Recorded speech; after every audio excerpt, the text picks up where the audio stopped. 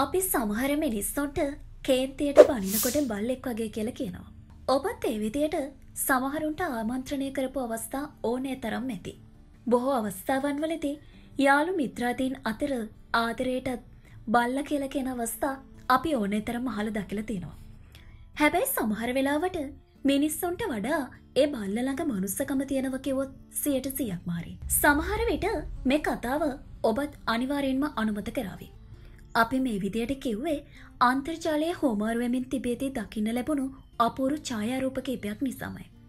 ඒ සුනකයෙකු විසින් ජල පහරකට හසු වුණු මුව පැටියකු බේරාගෙන එන ඡායාරූප කීපයක්. සමහර මිනිස්සු කරදරයකදී නොපෙනුණා වගේ යද්දී මේ බව්ව මුව පැටියව බේරගෙන එන හැටි දැක්කම සමහර මිනිස්සු ගැන නම් ඇත්තටම ලැජ්ජා හිතෙනවා. අපේ සමාජයේ ඉන්න මිනිස්සු කෙනෙකුට දුකක් කරදරයක් පීඩාවක් වුණාම ඉස්සෙල්ලම කරන්නේ මොබයිල් ෆෝන් එක අතට අරගෙන ඒක වීඩියෝ කරන එක. මොකද ඒ කෙනාගේ ජීවිතය කලවගන්නවට වඩා ඒක වීඩියෝ කරලා මුහුණු පොතට දානික ලොකු වීරකමක් කියල තමයි අපේ රටේ මිනිස්සු හිතන්නේ. ඒ නිසාවෙන්ම අපේ රටේ මිනිස්සුන්ට බේරගන්න තිබුණු ජීවිත සියදහස් කරනක් මගැරෙන්න්නත් ඇති.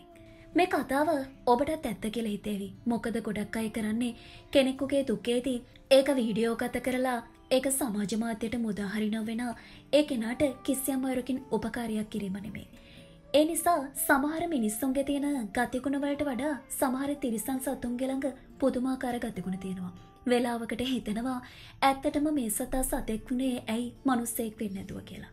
සමහර විට මිනිස්සයෝ අතරත් තියෙන තිරිසන් ගතිකුණ නිසා මිනිස්සෙන් අතර ඉපදින්නෙත් නැතුව තිරිසන් ආත්මික ඉපදුනත් මනුස්සත්කම් ඒ සතට පිටලා තියෙනවා. මිනිස්සුන්ගේ ගැන කලකිරෙන්නේ මේ වගේ සත්තුන්ගේ තුලින් අපිට දකින්න වෙන මනුස්සත්කම් දැක්කට පස්සේ තමයි. ජීවිතයක වටිනාකම මිනිස්සුන්ට නොහැඟුණත් සතෙක්ටත් ජීවිතයක වටිනාකම තියෙනවා. මොකද හැමෝම ජීවත් වෙනවා.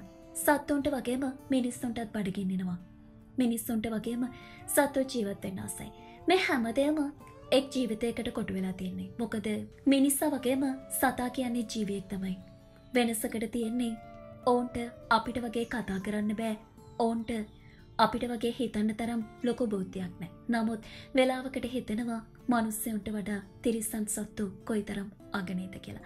මේ ඡායාරූප පෙළ දැක්කොත් ඔබටත් හිතේවි ඇත්තෙන්ම සත්තුන්ගේ ළඟ කොයි තරම් නම් මනුසත්කම් තියෙනවද කියලා.